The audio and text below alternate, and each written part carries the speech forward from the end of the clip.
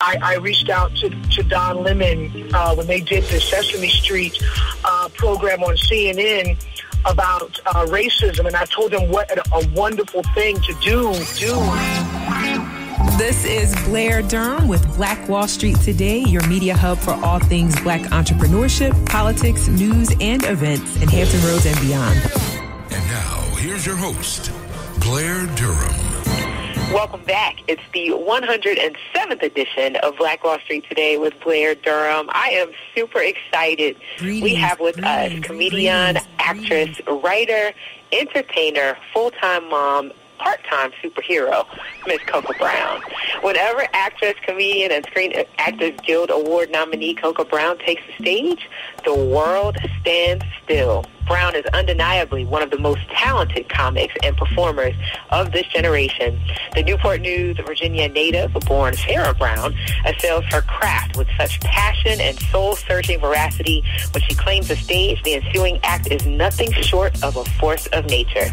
Cocoa Brown audaciously draws from painful reminiscences and hard knock lessons, bravely weaving humorous tales that uplift, upend, and upgrade everything you thought you knew about comedy. What is it that drives the comic who female fans nationwide have named the truth? It's the sheer will of a woman who survived the worst life had to offer and is still standing. Most notably known for her lead role in Tyler Perry's The Single Moms Club and For Better or Worse, the hilarious comedian actress Cocoa Brown treats audiences to thought-provoking humor in which she declares, I don't tell jokes, I tell the truth her grown woman delivery, both on stage and on the screen, in supporting roles such as FX's American Crime Story, NBC's Marlon, and most recently, Fox's critically acclaimed 911, has generated large and lo- loyal following all over the world and has proven to her fans, old and new, that not only is she a funny comedian, but she's also a versatile actress. Cocoa has had guest star roles on several other notable TV projects, including Two Broke Girls, Psych the Soul Man, and Breaking Bad, as well as supporting roles in major motion pictures, including Ted 2, in which she was handpicked for the role of Joy by Seth MacFarlane, Lakeview Terrace with Samuel L. Jackson, and His, Hers, and the Truth, which was one of the official selections of the 2019 American Black Film Festival.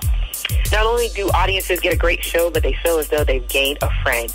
Cocoa says, if my audience feels like they know me, then that means I connected with them and I've shared my gift. Cocoa has a style that relates to both women and men and an energy and warmness on and off the stage that has earned her the respect and love of crowds and colleagues alike. There's no doubt that you will see Cocoa Brown continue to take her life and her career by the reins and maneuver it on her terms. And what will manifest from that will blow your minds. Welcome, welcome, welcome. How are you? Thank you. I'm good. How are you? Such a beautiful bio. I was reading it this morning. I said, I have to share all that love. I'm so oh, glad Oh, to bless have you. heart. I'm so happy to be here, honey. I'm I'm I'm sitting up here like laughing like she's really gonna read the whole She's going to thing. the whole thing. She was not joking when she said that. I mean, I it's just love it something so for me to read it. You know, I'm thinking about you and you know, holding you in admiration. So, I guess we should talk 2020. How are you keeping the folks smiling during all of this? Oh my! T- I tell you, honey. If, if nothing else, social media has been a lifesaver of just keeping yourself out there. You know, I mean, between the social media platforms like you know Instagram and Facebook, and then of course you know Zoom and other you know platforms. You know, people have have turned it to you know turned it to virtual. Everything's virtual, which is great, but it's a true testament of your talent. You know, can you make people laugh when you don't have the immediate gratification of hearing the laughter? So, you know, it lets me know that apparently I must be doing something right because people keep bringing me on their virtual comedy shows and virtual platforms. And, you know, I've just been, you know, making it work for me, honey, making it do what it do, as Ray Charles say. Yes, I love it. So, what is the driving force? Like this, I mean, in my estimation, this is a a pretty painstaking work that you do. I mean, you bear your soul on the comedy stage. Yeah. What's Yeah. what's what drives that? You know, when I took, when I realized that, you know, when I first got in the business, I was being a stand-up comic, you know, and I was working on my craft, and it was like, you know, to get discovered, to get discovered, to to get into the film industry, get in the TV industry. Now, comedy has become truly my therapy. I'm a single mom to uh, a very uh, energetic and inquisitive eight-year-old, and you know, having this time during this pandemic of being home. I mean, I haven't spent this much time with my kid since he was in my belly. Wow. So to be with him day in and day out, to be able to go to every football game, go to the PTA meetings, you know, be active and involved with his teachers as much as I have been, and then being able to watch his growth every day has been a blessing for me. But it also has provided me a plethora of material because I'm telling you, it's like seeing the world through an eight-year-old's eyes, honey. Yes. Baby, if you want the truth, ask a kid. Okay? Yes. No, that You is, know. that is real. My driving force is him right now. It's like, you know, making sure that he knows that mommy's here and this is a blessing even though we're in the middle of a, a pandemic that mommy is here, you know, 24-7 for him right now, you know, and working on my other businesses and, you know, working the virtual aspect of everything and, you know, just taking a moment to breathe. I actually got to smell the roses, you know, for a minute Yeah. and look back at everything I've accomplished and actually take a moment to take it all in because, you know, you get so focused on the prize, sometimes you miss the scenery on the way. So I've been able to take it all in. So this has been a blessing in the midst of all this, actually. No, I love it. So what is his take on things? Like, is, I assume he's doing some kind of virtual school scenario. How is he navigating? He was. Okay. You know, he was uh, he was doing it. You know, when everything started in the spring, he went completely virtual, and I was blown away at the maturity level of my child because once we, you know, I, you know, we got into the rhythm of you get up, we get dressed, we get our breakfast, we get on that laptop, and we do work. He was doing it on his own. And he was like literally saying, Mommy, you rest, you rest. I got it. I'll make you some cereal. And I'm like, what? Wow. You know, and so he, his maturity blew my mind that this child could be so, um, you know, responsible. And then now, you know, he's going back to school. Luckily, the county that I live in here in Georgia, um, they have gone above and beyond to ensure the safety of our children. And uh, he's going to school now five days a week, half a days. Um, they wear masks. Um, it has been uh, actually a, a great transition from what they were used to. And he looks forward to going to school. But you know, it, it's it's funny because I, like I said, I've not spent this much time at home, so it really made me get into my bag, you know, and really focus and uh, work on my other businesses because at one point TV and film and stand up had shut completely down, and um, you know I'm doing more TV and film than I'm doing stand up right now. A lot of the uh, you know, you know, 911 has started back filming. I'm going back to start working on Never Have I Ever, the show I'm on on Netflix, uh, the end of this month. I've shot a plethora of independent films and independent projects, which I'm loving because, you know, you got to keep your, you know, you got to keep your tools sharp, you know, so um, it has just been uh, a very interesting ride. But to see the way he sees things, you know, when everything was going on with like the George Floyd thing, you know, and you know him watching my my child watches the news. He watches the news with me, and having to explain to an eight year old what's going on Yeah. you know, sometimes we don't give our kids the credit they deserve in terms of what they see and what they understand. You know, and you know, he's like at eight years old, he's like, Mommy, I don't judge people on what they look like. I judge on how they treat me. And I'm like, that's right, baby, that's right. He goes, now they treat me bad. They're just a bad person. He goes, I don't care if you have stripes or polka dots, you know, you- you're either a good person or you're not. And I'm like, that's right, baby, you know. And, um, you know, it, it, it's weird that, you know, this child can understand something like that, that, you know, you judge people by their character, their integrity, who they are as a human being, not by what they look like on the outside. And raising a emotionally and socially, spiritually mature young man. That's awesome. That's, he's a little woke. He's a little, he's a little woke. A little woke. yeah, he's a little woke. He's a little you know, I think this generation, I mean, they're not going to have much of a choice when it comes to whether they're going to be woke or not, you know, because Absolutely. everything is right here in, in our faces. There's nothing subtle about 2020, that's for sure.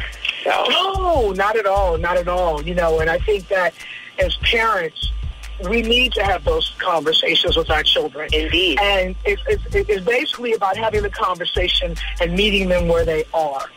You know, uh, I, I I reached out to, to Don Lemon uh, when they did the Sesame Street uh, program on CNN about uh, racism, and I told them what a, a wonderful thing to do for kids because they needed to see from their perspective what was going on around them.